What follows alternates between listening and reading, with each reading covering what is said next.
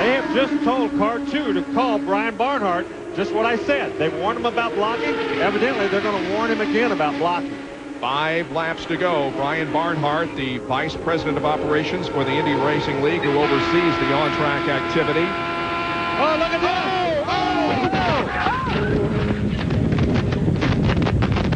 Oh, oh, oh the and lap Greg car. Ray and Eddie Cheever are both involved. And I don't know who the third car was that Greg Ray went to the inside of down the backstretch. Looked like the lap car moved way to the inside and tried to get out of the way. Greg Ray was just way too fast and already committed to go to the inside, and they made contact. Robbie McGehee. That's Robbie McGehee. Oh, that's unfortunate. Uh, What? Greg Ray is moving around and taking off the steering wheel. So is Eddie Cheever. Well, you got two disappointed race car drivers right there, guys. What an onboard shot we had. Everybody here in the booth ducked. And I'm sure you did at home because we were right with Eddie Cheever when he made hard contact with one of the cars. I don't know which one it and you can see the disappointment in Greg Ray. He's just hanging his head down, talking to himself. There's Greg's wife. Uh, that's unfortunate. Well, he had certainly gotten by with what I feel like was one of the bravest moves I've seen here at Texas Motor Speedway when he went three abreast. And then he got caught up with the lap car, and it was just a tough break. He was so committed, so much faster than McGehee. McGehee tried to move down, but he, it was too late, and he was already down there. Down to Vince. with a disappointed John Menard. John, uh, first of all, Chip Ward's car was running so strong, and it went out with a wheel bearing, and now this incident with Greg. Yeah, it's, it's too bad. We had a strong car, and you know, four laps to go makes you makes you feel bad, but that's racing. Uh, we'll be back, and uh, we'll get him at Pikes Peak, I guess.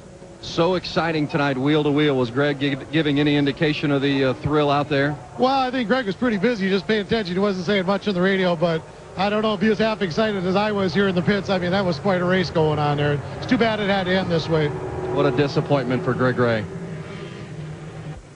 He's out of the car and obviously very disappointed. Here is a replay of what happened. Take a look at Greg Ray. Look at this. He's way down on the inside. He tried to move back up the racetrack. He thought he was around Robbie McGehee, but he clipped his left front with his right rear. And of course, Eddie Cheever was just a victim of circumstances.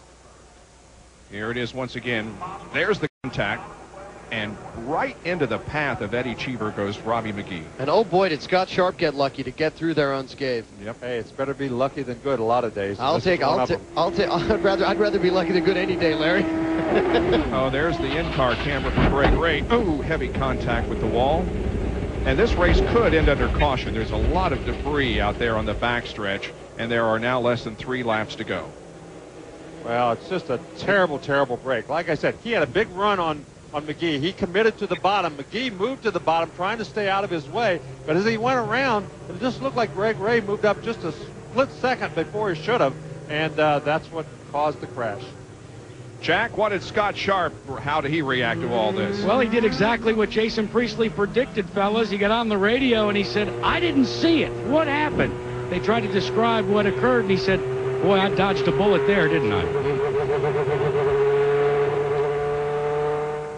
Cheever runs back to the uh, pit area. And here is the onboard with Cheever. This is what we were on live. And Jason knew it was going to happen, and he still ducked that time.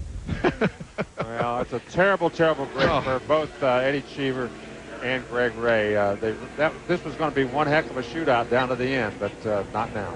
That's one of those things that's just sort of ingrained in you, Bob. If you, if you ever drive race cars, you, Yeah. you, you've seen. Yeah, I, I've seen many things like that. I know Larry has as well on a track where you're you're just you're just sort of along for the ride, and, and uh, you know you do duck. I mean, I, I in GT cars I used to duck when things like used to happen. Wow. Here is the onboard from Greg Ray. There's the contact that sent him spinning across the racetrack and then boom, hard into the outside wall. And on that same angle, you saw Scott Sharp just barely get by without getting tagged.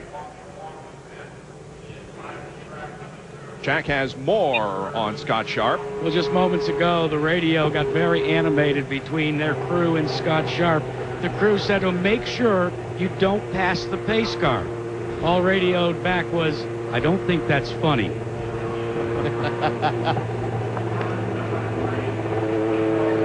We've seen uh, Eddie Cheever and Greg Ray out of their cars. Robbie McGehee, however, is still in his car, and that's down uh, just off of corner number four, so this race is going to end under caution.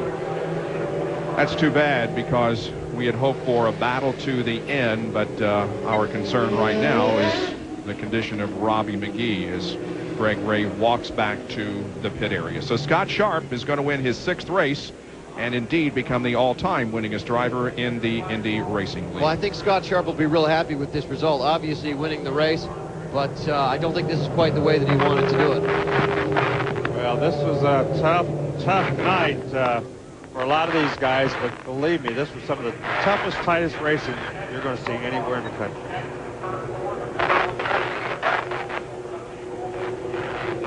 Field being led down the backstretch by the Oldsmobile pace car. So Scott Sharp celebrates the anniversary of his victory here last year Yep. uh, by another victory. And Bob Jenkins, I want to thank you for spending your anniversary, your 33 Oh, wedding, thank you, 33rd wedding anniversary with all of us here at ABC. We all wish you. you a very happy anniversary to you and your lovely wife. Thank you very much. Number 33, Scott Sharp will lead Sam Hornish, Felipe Giaffone, Buddy Lazier, and Donnie Beechler across the line to complete the Texas You are 500. the man. Good job, dude. Good job, brother. Well, he certainly did earn his victory. I'm for this, Sharp. I love you guys. Woo! Great job, Scotty. Yeah! After... All right. I bet you know where